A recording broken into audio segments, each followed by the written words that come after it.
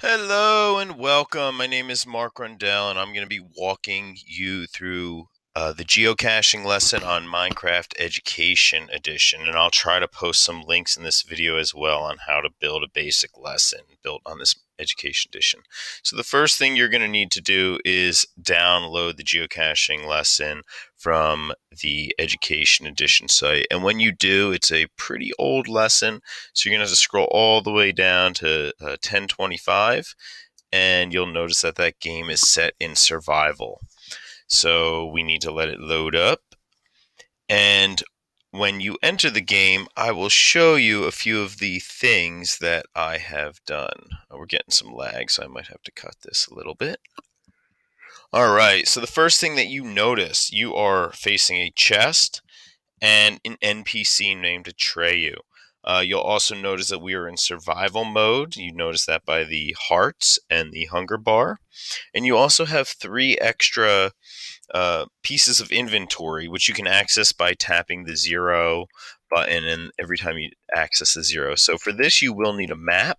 So let's go ahead and click on right click on the map. And when I do, you notice that in my first inventory slot, I now have a map which also gives me my coordinates in the top left hand corner.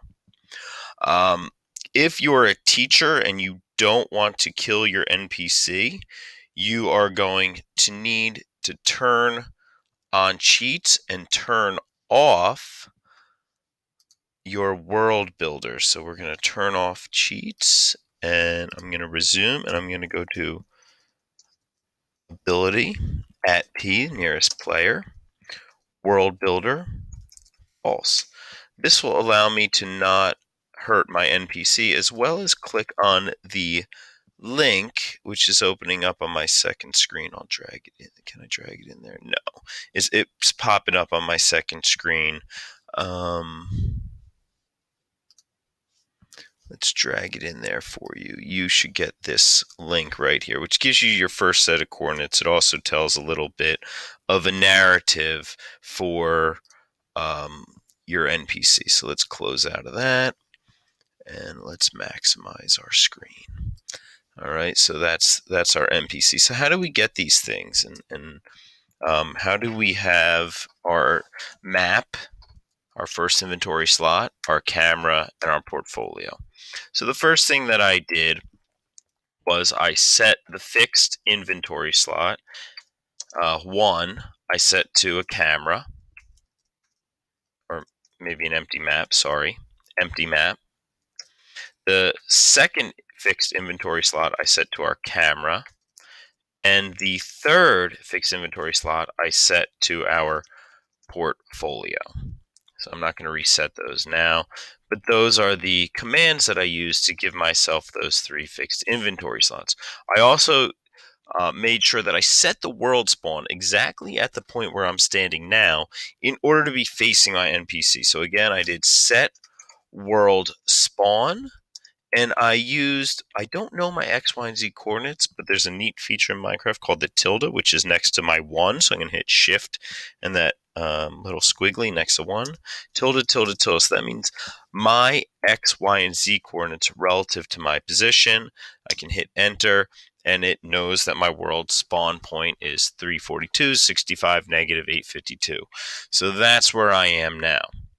Right. I then went in, I uh, did my text for my NPC, and I also created a link. When I turn off World Builder, you see that when I click, oh, I set it to false, sorry. True now there is the link that I embedded in, and I and I could, if I wanted to, I can edit the text. All right, so so that is basically how we got started here, and what I really did was I generated a regular world. And I just kind of flew around until I found a nice little setting and I found this nice little village and I liked this village and these these do generate randomly in Minecraft. I liked this village because it was kind of this scenic area. We have some woods over here and in fact if you do the math you'll find that your first cache is hidden next to this stump right here. And if I dig down I'm kind of cheating because this is my map.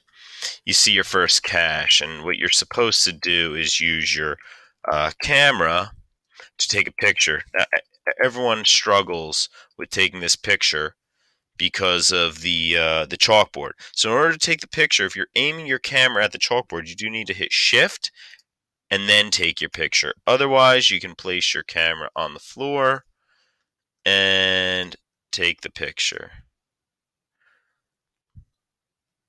Mm, there we are. All right, so I would do the math. I would get my second set of coordinates. Broke my steps because I'm in creative mode. And I'm basically from the village, I'm going to uh, go back towards the village. I'm going to do the math, and I'm going to fly over to this other scenic area.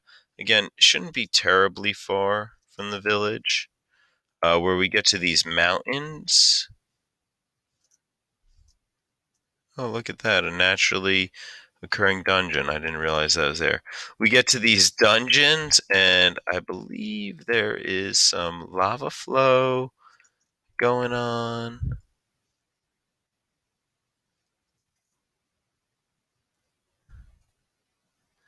And I thought that this would make a great location for our second geocache with this waterfall and lava flow going on. It was just a beautiful place to spawn. And adults always struggle with this because I put a little gap right there. And so it's not really parkour, but you have to make sure that you jump. Otherwise, you're going to fall and you're going to have to help your kids get out of there by either nerd nerd blocking their way out um, or helping them get into creative mode, or you can nerd pull out. And that'll give you your second set of directions. We also give our hero some uh, better armor because he's going to have to fight some zombies. And then finally, our last set of coordinates kind of brings us back towards the village. And where's my buddy Atreyu? We go behind the village. And there should be like a mountain back here. We're going to go to the top of this little mountain. And we see our third cache hidden down there. Is it? No, this is not my third cache. Where's our third cache? Uh-oh, we have a creeper. Here's our third cache. Sorry about that. So if I was doing the math, I probably would have had a little bit better luck. And so we get down into here. We have a little pressure plate and there should be zombies in there. Let's open up our doors, and boom, we have completed the quest. So we have made it through our geocaching lesson. Now, what I love about this lesson, oops, is that you can uh, adapt it. You don't just have to make it a math lesson with coordinates. You could do a lot of different things with this lesson.